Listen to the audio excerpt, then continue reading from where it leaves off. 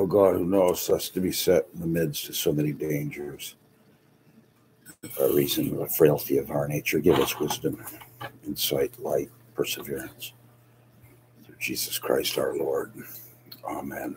Uh, we are now with uh, Canon Dixon on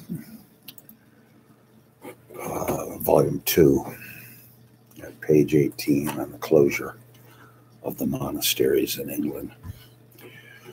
We're talking about a couple of commissioners, Legh and Layton. But if those of Legh were the more numerous, the trophies reared within the same space of time by Layton may claim to have been the more splendid.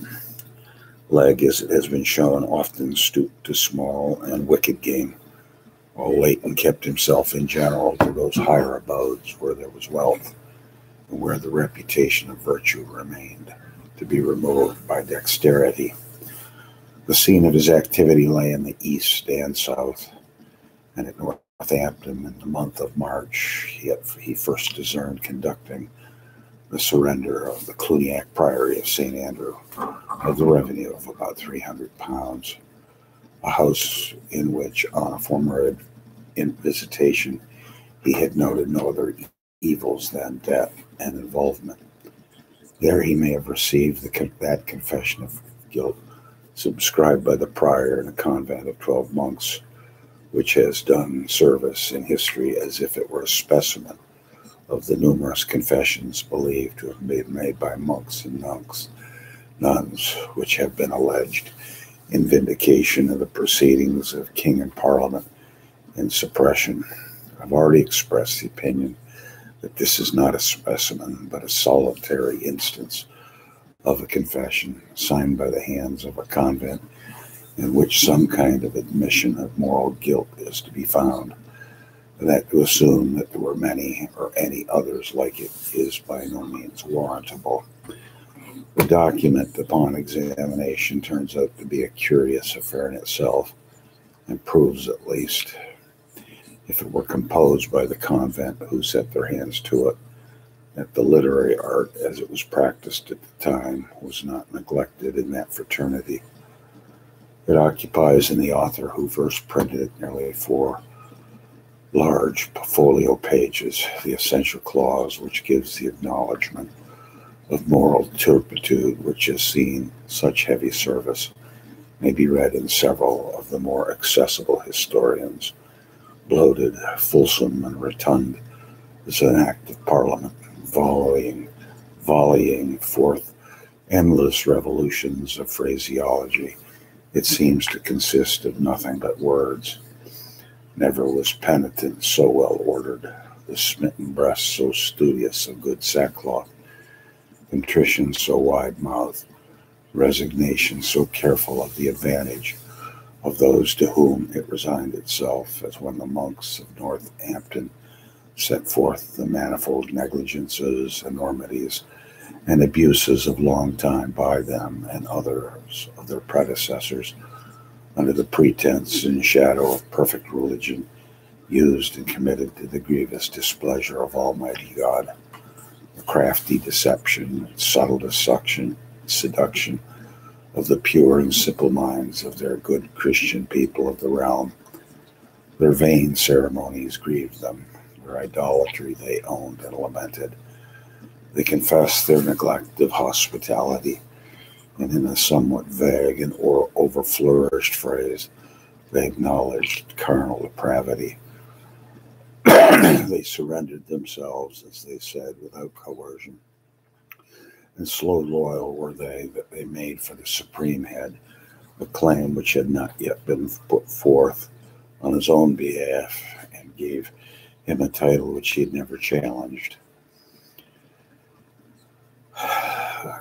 the supreme head being consequently in general reformator. Weever's funeral monuments. He appears to have believed without seeing that there were many others. The rest of the abbots, priors, abbesses, and prioresses at other times, with unanimous consent of their convict convents and great compunction of spirit, contrition of heart, and confession of their manifold enormities, did severally give and grant to the king's majesties and his heirs all the rights and instruments, lands, goods.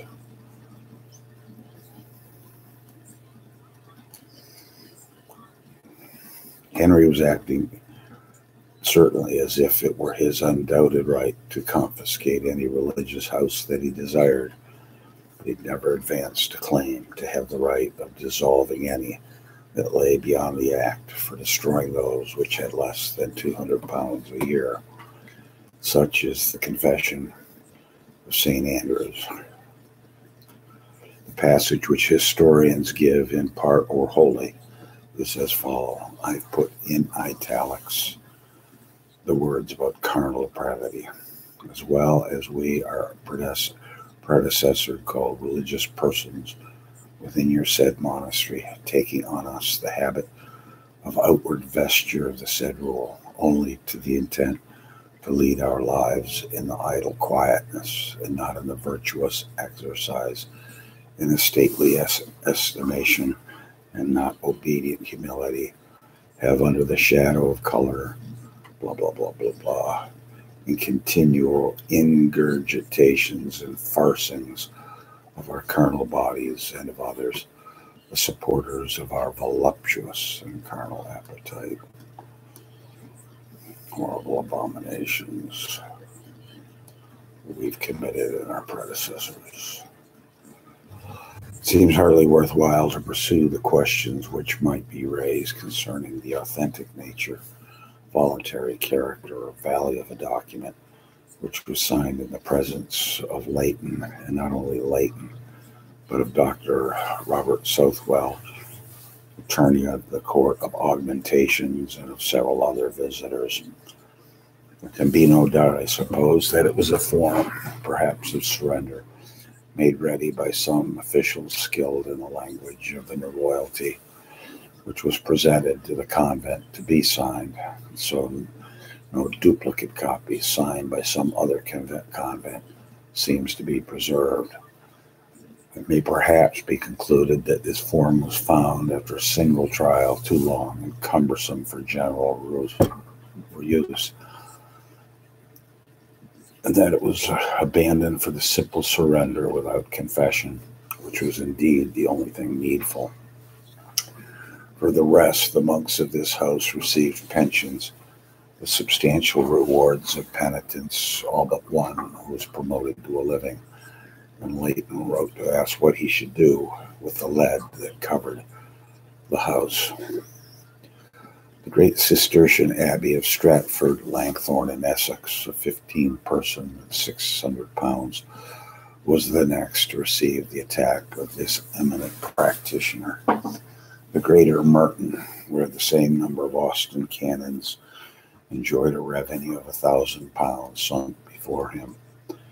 Battle Abbey of the same high value, where a fraternity of 17 Benedictines commemorated the victory of the conqueror, yielded now to a more invincible invader. The new Royal Foundation of Bisham of 16 persons, the transitory monument of the piety of Henry VIII, expired beneath his hand after a short exercise of the monastic virtues or vices within the first year of its establishment.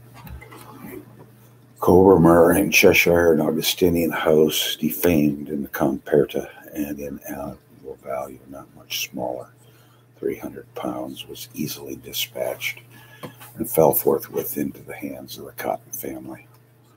From thence, Layton took his way to the earliest theater of his exploits, and the venerable, oft visited monastery of St. Augustine in Canterbury beheld him again.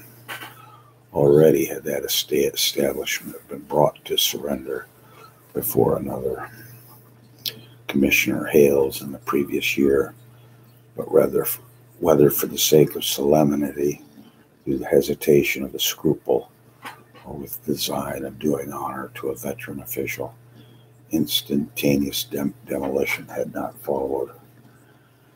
The second of the pious foundations of the Christian king in England, of the lay father of the English church, was spared until the besom of destruction could be put into the hands of Layton.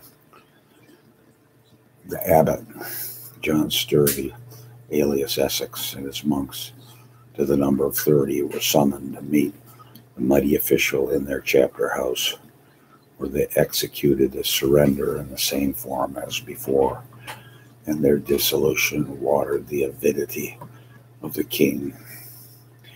It was observed with peculiar horror what the sacrilegious monarch turned the precincts of St. Augustine into a vivary of wild beasts, though by building, or at least designing for himself, also a palace among the ruins, he yielded to his enemies the consolation of an epigram. But the subversion of the great establishment seems not to have been completed even then, nor the jewels and ornaments of the church returned into the court of augmentations until much later in the reign of Henry. Layton then returned to the city of Northampton, where the virtuous Abbey of St. James of ten Austin canons was scarcely above the parliamentary mark in revenue, attracted and received the stroke. The poor order of the Gilbertines escaped him not. He dissolved their little house of Marmont in Cambridgeshire, where a prior and convent of one monk or monastic canon resigned an income of ten pounds. their priory of Shouldham of nine canons, seven nuns, and about 150 pounds. These, like many other little houses of the order, had hitherto avoided the operation of the act. Transferring himself to Bedfordshire, he made an end of Chicksand, another Gilbertine establishment, of which he had formerly made a merry report. This place was worth 250 pounds a year. The site of it was granted immediately to Snow. Layton returned to Kent anon, where he destroyed the nunnery of Malling, a black sisterhood of 11 of somewhat greater revenue, but not very rich. The friars in their various orders had escaped hitherto because of their poverty beneath the meshes of the act, which was destroying the lesser houses of the monks and regular canons. And since they were neither named in the act nor possessed any fixed source of revenue to which the act could apply, it seemed not unreasonable to suppose that the provisions of the act had never been designed to be extended to them but a piece of le- legislation which was stretched upwards might be dragged downwards. If the friars had few farms or manors, they possessed houses. Those houses stood on ground, and therefore they had sites. A general attack was made on them this year, and we shall presently be called upon to admire the fervor and rapidity with which it was carried out. Meanwhile, we behold for a moment the two masters of dissolution, whose footsteps we have been following, brought together at the end of a year against the friars of London. On the 10th of November, 1538, Legh dissolved the White Friars, who were 13 in number. On the 12th, he dissolved the Austin Friars and the Minorites, Minorites, 13 and 26. On the same day, Layton dissolved the Black Friars, 17 of all, of whom Hilsey, the Bishop of Rochester, was the commendatory prior. And it is probable that was he who dissolved the cross friars also on the same day, who numbered six. Dr. Petre, whose name has already been mentioned before to the reader, must be named next in the prowess to the experienced Legh and Layton. To him there fell this year not less than 20 monasteries. Of these, if some were very small, others were of surpassing magnitude and wealth. The ancient Benedictine Abbey of Abingdon, with which he began, is said to have been renowned as a seat of religion even in the British times, and it had continued from the earliest English antiquity and had risen again in renewed splendor after the devastations of the Danes. But this great fraternity seems to have been now in a state of relaxed discipline. The abbot, at least, Thomas Pentecost, or Roland, is named by Bale as a very immoral man, and on better evidence than that of Bale, it seems impossible to acquit the monastery of slothfulness and perhaps other vices. Petre found no difficulty here. The abbot was forward in surrendering, and so easily was the indignation of virtue appeased by the compliance of loyalty that the abbot not only received a very large pension, but was allowed to retain the manor of Cumnor in reward for his readiness. The convent of 25 black monks were dispersed into the world and their large revenue, nearly 2,000 pounds, was confiscated to the crown. From Abingdon, Dr. Petra Petre proceeded to the Augustinian house of Butley in Suffolk, of which the commendatory was Thomas Manning, suffragan bishop of Ipswich. The eight black canons of this place uh, resigned a revenue of about 400 pounds, and the site of their house was given to the Duke of Norfolk.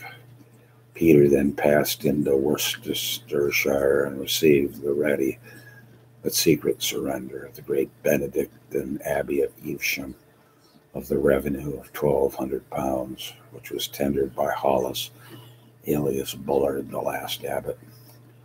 Posting into Gloucestershire, he then visited the old and characteristic priory of Llanthony and Lantonia Secunda, the second and more extensive retreat of the black canons of the original Antony of Monmouthshire, who had fled thither in bygone ages from the hostilities of the Welsh.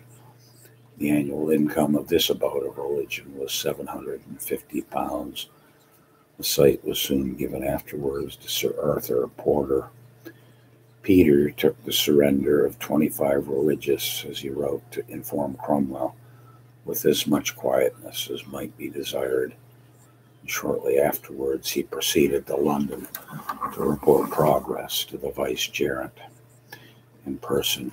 Continuing his journey southward, he dissolved in the New Forest, the Cistercian house de Bello Loco, in number 20, 400 pounds in revenue and the Austin House of Southwick in the same region, of 13 cannons and 300 pounds, of which sites were given to Ryoth Thessaly and to one John Locke White.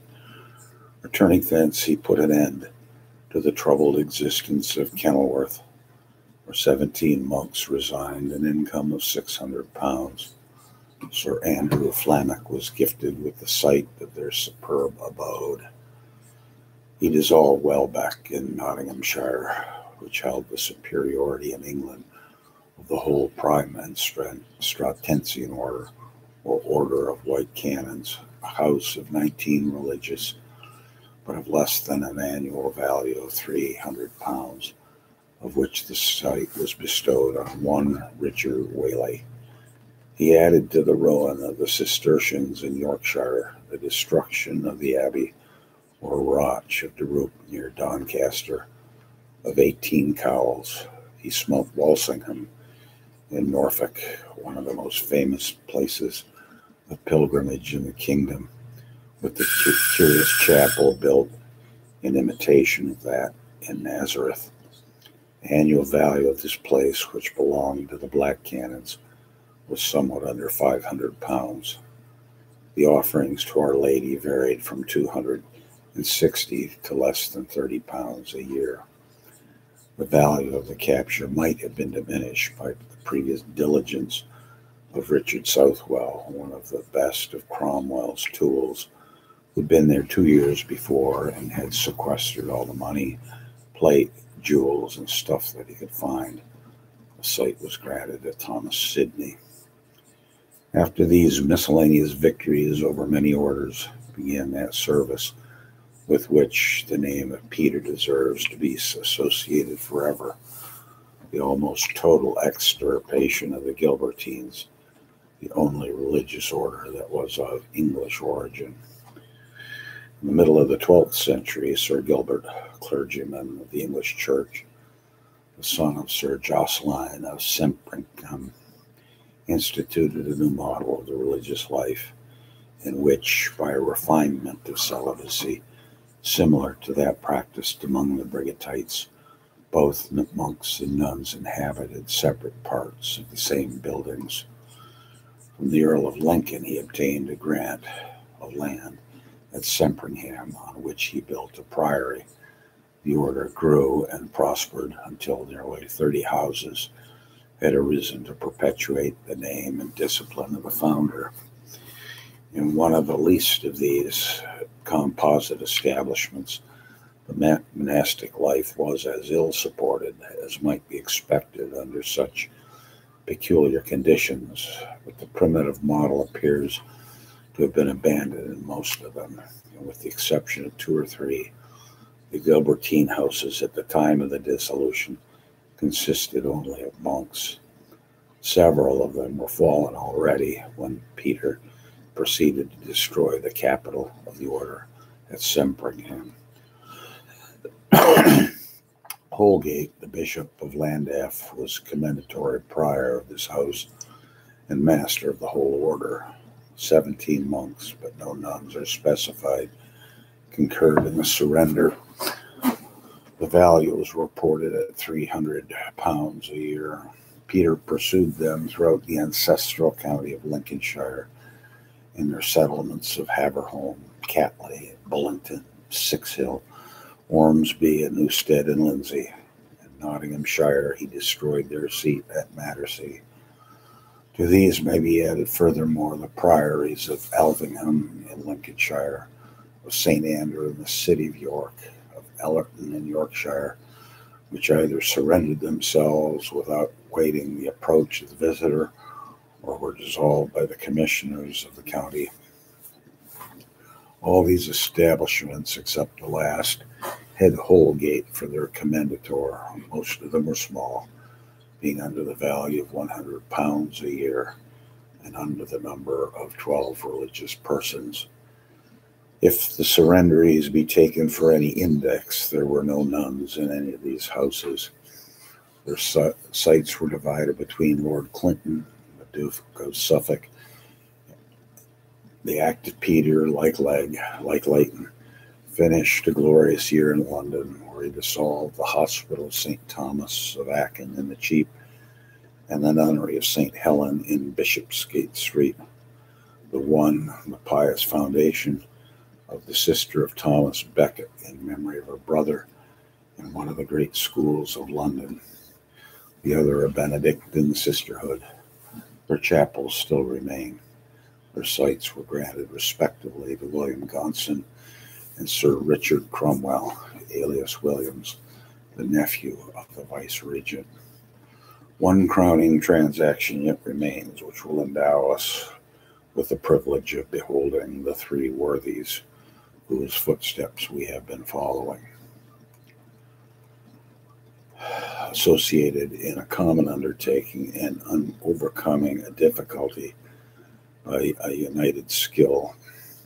The great mitred Abbey of St. Albans, of which the church, spared to parochial use, has lately undergone a skillful restoration and has been raised to the dignity of an episcopal see, was visited in the month of December by Legh and Petre in conjunction, it would appear, with some other commissioners. On the day of their coming, the abbot, Stevenage by name, happened to be away in London. In his absence, they took the opportunity of examining the convent at full length because they should know more of the state of all things. And the next day, when their interrogations were concluded, they sent for the abbot. He arrived on the day after and was subjected in his turn to a severe investigation. It was found that the injunctions had not been obeyed, there were manifest dilapidations, making of shifts, negligent administration, and sundry other causes which were not more distinctly specified for depriving the abbot. The visitors, however, were willing to have provided by the gentler method of inducing him to give up the house peacefully, but by what means they knew not. They found that all suggestions, all intimations, all communications touching a surrender and a pension were stiffly resisted. And the abbot told them roundly that he would rather choose to beg his bread all the days of his life than to consent to a surrender. They communed with him severally and altogether. They used such motives as they thought might further their purpose, but he always continued one man. Nay, he never waxed ever more obstinate and less conformable. In these trying circumstances, they cried aloud for Layton that Cromwell should send Layton to let them know the king's pleasure in their business. And thus Legh and Petre owned in Layton one greater than themselves. Layton appears to have prevailed. The abbot was induced to fix his name to a surrender which had previously been signed by the convent. The house was dissolved, and the 37 monks who composed it took their departure from their ancient home. The venerable foundation of King Offa, valued at more than 2,000 a year, was confiscated and dismantled, all but the church, and the church was purified from the memory of the proto martyr of the island. The vast and magnificent shrine of St. Alban was shattered into a thousand pieces. The jewels and ornaments with which it was glittered were carried to the king. The annals of the caterpillar and the palm worm cannot be but monotonous. Neither the progress nor the magnitude of the revolution can be understood without the minutes, and the afflicted reader must be content to follow the course of the creatures who were eating their way in different directions through length and breadth of the land. The full splendor of Dr. Tregonwell was reserved for another year, but in this year he suppressed Kingswood in Gloucestershire and Port Robert in Sussex of the number of 13 and 9 respectively, both of greater value, both of the Cistercian order. The Cistercian house of Coggeshall in Essex of about 250 pounds fell to Capel and Wentworth, who seemed to have been mere ordinary commissioners the site of which was granted to Sir Thomas Seymour. One Ashton, an agent of the experter type, was the destroyer of the large Benedictine house of Walden in Essex, valued about £400 a year, which was granted in full to the Lord Chancellor Audley. The prior who surrendered the place was commendatory, More by name, the suffragan of Colchester, and not and some not unskillful dealings may be discerned between him and Audley.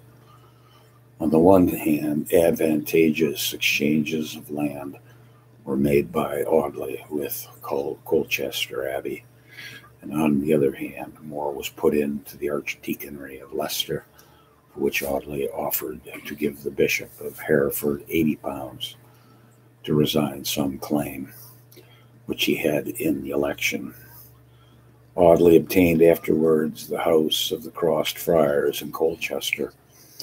To this year, it is probable may be assigned the suppression of Binham and Beeston in Norfolk, in which the remarkable Sir Richard Rich was concerned. A former of them, of about 150 pounds, had escaped hitherto by alleging that it was a cell of St. Albans, a true statement which Rich denied. The latter, some three or four Austin cannons with 50 pounds among them, pretended that they were not Austin cannons, but Austin friars, a falsehood which, which Rich exposed. Thomas Wetherall, a chancery clerk, brought to surrender Rudolph Hartley, the prior of Wetherall in Cumberland, a cell of eight black monks, which appears in the Comperta of the smaller value which was granted two years later to the dean and chapter of Carlisle. Robert Southwell, an eminent name, brought to more perfect terms the priory of West Acre in Norfolk, of nine black canons in the Abbey of Boxley in Kent. They were about the same value, upwards of 200 pounds a year. Their sites were given to the Duchess of Richmond and to Sir Thomas Wyatt. Several other monasteries were surrendered of themselves or to some unrecorded visitor. They were Haughmond in Shropshire, a house of nine persons, Worksop in Nottinghamshire of 16, in Herefordshire, Wigmore, Faversham, and Kemp, the one of 10, the other of nine. In Yorkshire, the Cluniac Monk Bretton of 14, Augustinian Kirkham, and Bolton of 18 and 15, Byland and Rievaulx of 25 and 23, both Cistercian, the latter the original seat of the great order in England, were dissolved by the Commissioner Bellasis and his fellows. They were all about the same value, under or over 300 pounds a year, and to them may be added Bittlesden in Buckinghamshire, a small house of 11 which had been refounded by the king. Here we find perhaps the earliest use of that formulated confession, which became the standard among the few religious houses in which surrender was accompanied by confession. Whether this standard were supplied to them or invented by their own ingenuity, the reader may determine. It was much shorter than the Confession of St. Andrews it contained no admission of moral depravity. The religious houses that adopted it affirmed that they were moved to return to the world by profoundly considering the vanity of their religion, the folly of their ceremonies, or the inconsistency of their dependence on a foreign potentate. But of obscenity they said nothing and this model, which it may be observed was used only by houses which voluntarily surrendered themselves, is the only confession in the original form subscribed by the hands of those who made it, which has ever been produced from first to start, last in proof of the alleged depravity of the English monasteries. It is known to have been made by six houses uh, in all. The impetuosity of the recruit is not always equal to services which try the seasoned valor of the veteran. Richard Ingworth, formerly prior of Langley Regis, the richest establishment of the Black Friars in the kingdom, was promoted to be Bishop Suffragan of Duffer, Dover, at the end of 1537. Receiving the commission of a visitor soon afterwards, Ingworth appears to have conceived the ambition of becoming the hammer of the friars. He exclaimed that if he were given scope and verge enough, there should be few houses of friars left standing in England, or seemed it unlikely that he would fulfill his word before the first Sunday in the following Lent, 1538. He'd conveyed to the king the four houses of friars at Boston and Lincolnshire the Austin Friars and four more houses in the city of Lincoln itself. For the end of May, been at Northampton, Coventry, Atherton, Warwickshire, Warwick, Droitwich, and Worcester. And here will come no end. Glory be to the Father, and to the Son, and to the Holy Ghost.